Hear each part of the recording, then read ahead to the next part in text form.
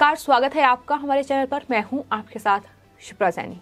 पंजाब विधानसभा चुनावों के बीच कांग्रेस पार्टी को बड़ा झटका लग सकता है। कांग्रेस पार्टी के दिग्गज नेता और पंजाब से सांसद मनीष तिवारी कांग्रेस पार्टी छोड़ सकते हैं। ऐसी खबरें लगातार सामने आ रही हैं, कयास लगातार लगाए जा रहे हैं कि आखिर क्या मनीष तिवारी कांग्रेस पार्टी छोड़ रहे हैं और अगर ऐसा होता है तो ज़ाहिर तौर पर यह कांग्रेस पार्टी के लिए पंजाब में चुनाव से ठीक पहले सबसे बड़ा झटका होगा। क्योंकि पंजाब के आनंदपुर साहिब से मनीष तिवारी सांसद हैं और कहीं ना कहीं पंजाब में उनका काफ़ी जो वर्चस्व है वो रहा है। तो ऐसे में अगर मनीष तिवारी कांग्रेस पार्टी छोड़ते हैं तो ज़ाहिर तौर पर कांग्रेस पार्टी के इस पूरे चुनावी अभियान में बड़े झटके के तौर पर इस खबर को माना जा रहा है। लेकिन कांग्रेस पार्टी के वरिष्ठ नेता मनीष तिवारी जिस तरीके से बीते कुछ दिनों से लगातार बयान दे रहे हैं और खुलकर अपनी नाराज़गी कांग्रेस पार्टी और कांग्रेस आलाकमान को लेकर ज़ाहिर कर रहे हैं, दरअसल ये खबर उससे कहीं पुख्ता होती है कि मनीष तिवारी आने वाले वक्त में कांग्रेस पार्टी को बड़ा झटका दे सकते हैं और पार्टी छोड़ सकते हैं। खबरें ऐसी भी सामने आई थी कि दरअसल मनीष तिवारी, कैप्टन अमरिंदर सिंह के बेहद करीबी माने जाते हैं पारिवारिक जो संबंध हैं, वो कैप्टन अमरिंदर सिंह के परिवार के साथ रहे हैं, मनीष तिवारी के। और ऐसे में खबर ये सामने आई थी कि दरअसल कैप्टन अमरिंदर सिंह ने, जिन्होंने अपनी नई पार्टी का गठन पंजाब में किया है, पंजाब लोक कांग्रेस उसके लिए मुख्यमंत्री पद का जो ऑफ़र है, वो दरअसल मनीष तिवारी को दिया गया था। लेकिन अब मनीष तिवारी ने मीडिया से बातचीत करते हुए ये कहा है कि कैप्टन अमरिंदर सिंह उनके पहले भी दोस्त थे, आज भी हैं और आगे भी रहेंगे। सीएम की गद्दी छोड़ने के बाद आज भी उनकी बात कैप्टन अमरिंदर सिंह से लगातार होती है। ये उनके निजी संबंध हैं और ये बात बिल्कुल गलत है कि उन्हें किसी तरह का ऑफ़र दिया गया हो। तो उन्होंने इस पूरी बात को खारिज कर दिया है, जो लगातार कहीं ना कहीं खबरें सामने आ रही हैं कि कैप्टन ने उन्हें ऑफ़र किया है, सीएम का पद। तो इस तरीके की खबरों को पूरी तरीके से खारिज कर दिया है, लेकिन वहीं कांग्रेस पार्टी इस पूरे पंजाब के सियासी घमासान में जिस तरीके से राहुल गांधी और प्रियंका गांधी वाड्रा प्रधानमंत्री नरेंद्र मोदी और बीजेपी को टारगेट कर रहे हैं, जिस तरीके से कैप्टन अमरिंदर सिंह पर लगातार सवाल उठाए जा रहे हैं तो इस पूरे मामले को लेकर जब मनीष तिवारी से सवाल किया गया तो उन्होंने एक बार फिर कांग्रेस पार्टी, यानी अपनी ही पार्टी पर सवाल खड़े कर दिए और मनीष तिवारी ने कहा कि पंजाब में विकास सिर्फ़ 111 दिन में नहीं हुआ है बल्कि पूरे पाँच साल के दौरान हुआ है क्योंकि पंजाब के लोगों ने सरकार को पाँच साल के लिए चुना था। पार्टी में नेतृत्व बदल सकता है। वहीं प्रियंका गांधी वाड्रा जो प्रधानमंत्री नरेंद्र मोदी की पगड़ी पहनने पर आ, उन पर तंज कस रही थी उस पर भी उन्होंने कहा कि दरअसल पंजाबी की पगड़ी सत्कार योग्य है इसलिए इस पर राजनीति नहीं होनी चाहिए। यानी प्रियंका गांधी वाड्रा के बयान पर मनीष तिवारी की ये बड़ी टिप्पणी पढ़ी कि ये राजनीति जो पगड़ी पर की जा रही है, ये ज़ाहिर तौर पर गलत है। तो जिस तरीके से मनीष तिवारी लगातार बयान दे रहे हैं और खुलकर कहीं ना कहीं अपना पक्ष पार्टी में रख रहे हैं, वो साफ़ तौर पर दिखा रहा है कि नाराज़गी कांग्रेस पार्टी के भीतर लगातार जारी है।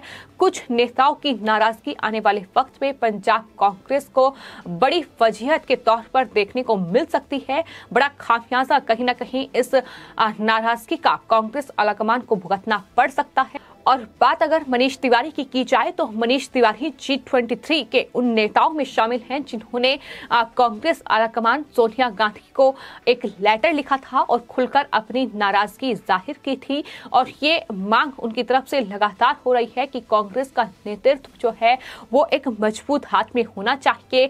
कांग्रेस का अध्यक्ष हो बिना अध्यक्ष के कांग्रेस पार्टी कहीं न कहीं एक के बाद एक तमाम राज्यों में बिखर रही है। तो कांग्रेस आलाकमान से कई बार शिकायत जो है वो जी ट्वेंटी के ये नेता कर चुके हैं और कहीं ना कहीं चुनावों से ठीक पहले जिस तरीके से कांग्रेस सांसद मनीष तिवारी लगातार बयान दे रहे हैं और खुलकर अपनी नाराज़गी ज़ाहिर कर रहे हैं, उससे ये साफ़ हो रहा है कि आने वाले वक्त में मनीष तिवारी भी अपना पाला बदल सकते हैं, क्योंकि कैप्टन अमरिंदर सिंह के बेहद करीबी है मनीष तिवारी।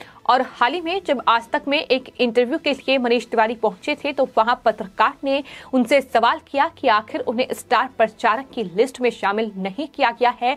तो इस पर मनीष तिवारी ने एक बड़ा बयान दिया था। कहा था कि कांग्रेस के स्टार प्रचारकों की लिस्ट में कई ऐसे नाम हैं, जिनके कहने पर उनकी पत्नी भी वोट नहीं देगी। तो इस तरीके से तंज जो है, वो कांग्रेस पार्टी पर कसा गया था।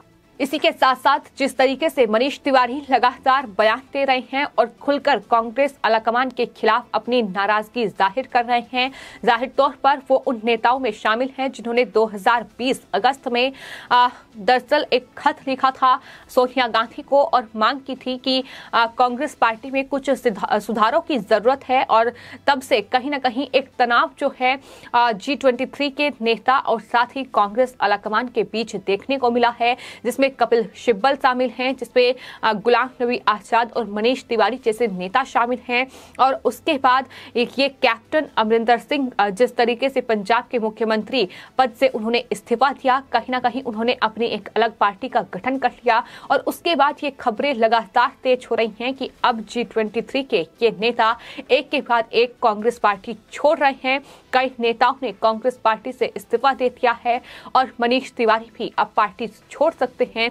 इस तरीके की खबरें सामने आ रही हैं। लेकिन इस इंटरव्यू के दौरान मनीष तिवारी की ओर से ये साफ़ तौर पर कहा गया कि कई लोग ये मानते हैं कि मेरी और कैप्टन अमरिंदर सिंह की नजदीकियाँ हैं और वो थी, रहेंगी। एक बार फिर से उन्होंने ये बात दोहराई है और कहा है कि कई लोगों की उम्मीद थी कि उनके कैबिनेट के साथियों की तरह मैं भी कैप्टन अमरिंदर सिंह को गालियाँ दूँ तो लेकिन वो मेरा किरदार नहीं है। ऐसा मैं नहीं करूँगा क्योंकि कैप्टन अमरिंदर सिंह के साथ आज भी मेरे रिश्ते कहीं बेहतर हैं। तो सवाल अब ये उठ रहा है कि क्या मनीष तिवारी कैप्टन अमरिंदर सिंह का साथ चुनेंगे या फिर बीजेपी में शामिल होंगे? अगर वो कांग्रेस पार्टी छोड़ते हैं तो ये सवाल भी लगातार कहीं ना कहीं सुर्खियाँ बटोर रहे हैं। तो फ़िलहाल पंजाब में कांग्रेस पार्टी के भीतर ये सियासी घमासान लगातार जारी है, जहाँ कई नेताओं की नाराज़गी खुलकर सामने आई है, जिसमें कांग्रेस पार्टी के ये दिग्गज नेता और पंजाब के सांसद मनीष तिवारी शामिल हैं। तो वहीं नवजोत सिंह सिद्धू दूसरी ओर लगातार पंजाब कांग्रेस के लिए फजीयत का काम कर रहे हैं। राहुल गांधी, प्रियंका गांधी वाड्रा की मुश्किलें बता रही हैं, जहाँ एक तरफ़ प्रियंका गांधी वाड्रा और राहुल गांधी चिरंजीत सिंह चन्नी को एक गरीब मुख्यमंत्री बताकर कहीं ना कहीं वोट बटोरने की कोशिश में लगी हुई है। तो वहीं नवजोत सिंह सिद्धू लगातार हमलावर हैं। उनका परिवार हमलावर है कि कई करोड़ की संपत्ति जो है वो चिरंजीत सिंह चन्नी के पास है। तो ऐसे में वो गरीब कैसे हुए? और कहीं ना कहीं जो नेता कांग्रेस आलाकमान से नाराज़ हैं, वो भी लगातार अब चिरंजीत सिंह चन्नी पर सवाल उठा रहे हैं। तो ऐसे में कहीं ना कहीं कांग्रेस पार्टी के लिए मुश्किलें बढ़ रही हैं। 20 फरवरी को पंजाब में मतदान होना है, लेकिन उससे पहले कांग्रेस पार्टी पूरी तरीके से पंजाब में बिखरती दिखाई दे रही है। और एक और बड़ी खबर यह है कि दरअसल अश्वनी कुमार, जो कि मंत्री भी यूपीए सरकार में रहे हैं, उन्होंने भी कांग्रेस पार्टी छोड़ दी है और इस पूरे फैसले पर भी मनीष तिवारी ने कहा है कि ये फैसला दुर्भाग्यपूर्ण है। राज्यसभा सीट की महत्वाकांक्षा लोगों को बहुत कुछ करने पर मजबूर करती है। ये मनीष तिवारी की ओर से कहा गया है। हालाँकि जिस तरीके के हालात पंजाब कांग्रेस के भीतर बने हुए हैं, कहीं ना कहीं इस बीच तमाम नेताओं का एक पार्टी से दूसरी पार्टी में जाने का सिलसिला जारी है, लेकिन खासतौर पर कांग्रेस पार्टी के एक के बाद एक तमाम नेता पार्टी छोड़ रहे हैं और कांग्रेस की वजीहत का काम कर रहे हैं। फिर सोनिया गांधी, राहुल गांधी या फिर प्रियंका गांधी वाड्रा, किस तरीके से कांग्रेस को संभाल पाएँगे, ये फ़िलहाल बड़ा सवाल है, क्योंकि जी ट्वेंटी थ्री नेताओं की नाराज़गी कांग्रेस पार्टी को पंजाब में डुबाने का काम कर रही है और सवाल यही है कि पंजाब कांग्रेस में मनीष तिवारी की ये नाराज़गी पंजाब कांग्रेस को कितनी भारी पड़ेगी, ये आने वाले वक्त में 10 मार्च को पता चलेगा।